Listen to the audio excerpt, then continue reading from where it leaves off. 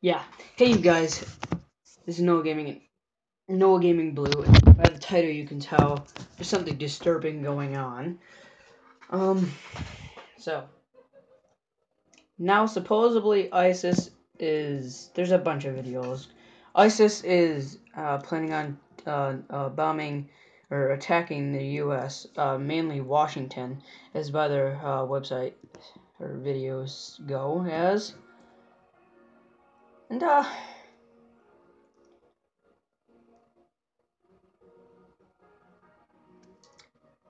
I wouldn't get too worried about it, but, you know, what I do is always I prepare for the worst. And what I would say if you prepare for the worst, just like I do, uh, I'm not really scared, but, uh, if you want to prepare for the worst, like I would, I would just prepare for bombs to go off in Washington, so I would probably stay out of the city or something like that. Now that's just a small update. You need to uh, do some more research on it just to get the full information. I just wanted to spread the word. Thank you guys. See ya.